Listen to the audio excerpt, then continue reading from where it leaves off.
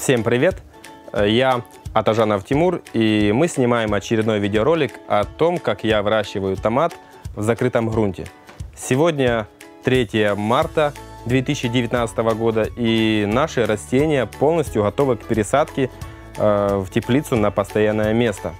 Напомню, что 14 января мы получили первые всходы, 30 января мы распекировали наши растения с кассеты 160 ячеек в пол-литровый стаканчик.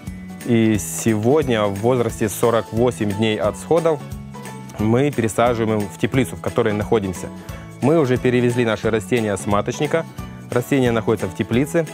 Растение имеет такой внешний вид. Это компактная рассада, толстый стебель, на котором находится 12 настоящих листьев. Хорошо видна первая кисть, уже вторая видна и третья кисть.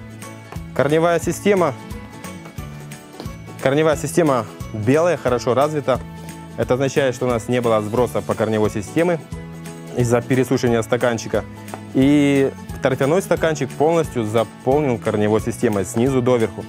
Это также означает, что стратегия полива во время выращивания растений в стаканчике велась правильно. Первый полив у нас был большой дозой, что заставило корневую систему спуститься вниз торфяного стаканчика, и остальные поливы были меньшей дозой, более дробные.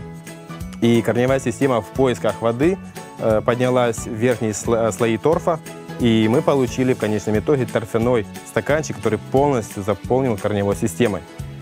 И такое растение с такой корневой системой, системой максимально быстро проживется на новом месте в теплице. У нас теплица, в которой я нахожусь, это теплица 10 на 50. 50 метров у нее длина, 10 ширина. Полезная длина теплицы 48 метров. С каждого края по метру мы оставляем, это техническая зона для разворота с опрыскивателем и укладки труб отопления и шланг для полива. 48 на 10 это 480 метров квадратных, полезная площадь. На этой площади мы размещаем 10 рядов. Э, два ряда у нас крайних, слева и справа от меня вдоль всей теплицы. И 4 ряда у нас спаренных, двойных. Э, междурядье у нас метр тридцать и расстояние в спаренных рядах в середине 50 сантиметров. Расстояние между растениями в ряду 35 сантиметров. И таким образом на 48 метрах у нас вмещается 135 растений.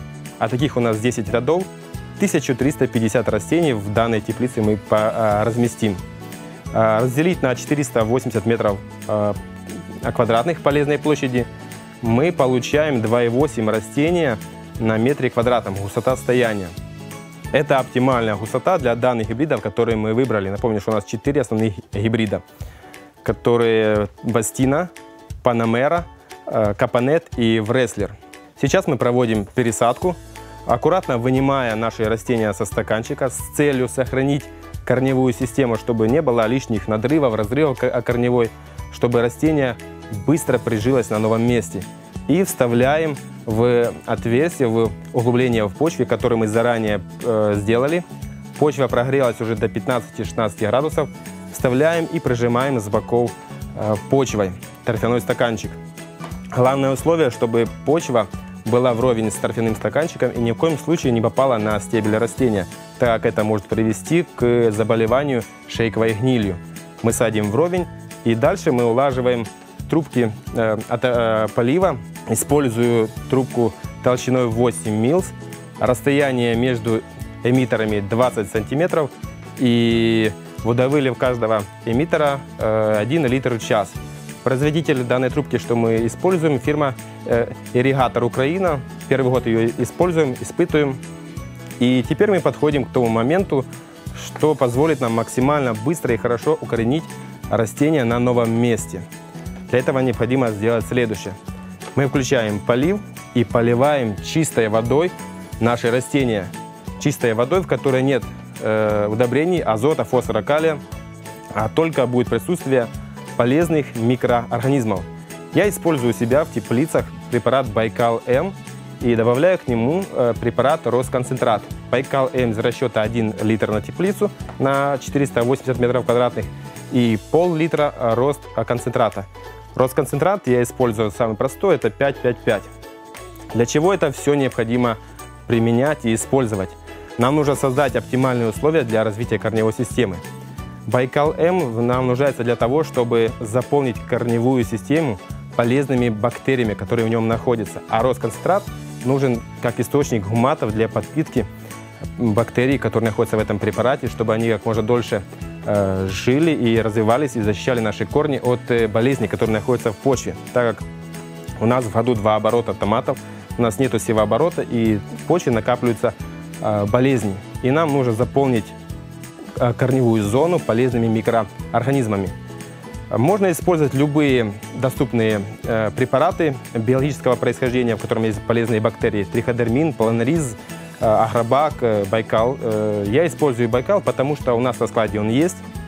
Мы его используем на зерновых, на овощах открытого грунта, и мне так проще его использовать. А, вообще можно использовать любой, а, который есть. Главное, чтобы это был активный препарат, свежий, который будет работать. И таким образом, поливая нужным нам раствором в чистой водой, корневая система охотно выходит с торфяного стаканчика. Так, во время роста наших растений мы их поливали. Поливали и все время насыщали наш стаканчик солями. Каждый раз мы поднимали электропроводность э, раствора. И последний у нас полив был электропроводностью 3,2. То есть сильно засолен торфяной стаканчик.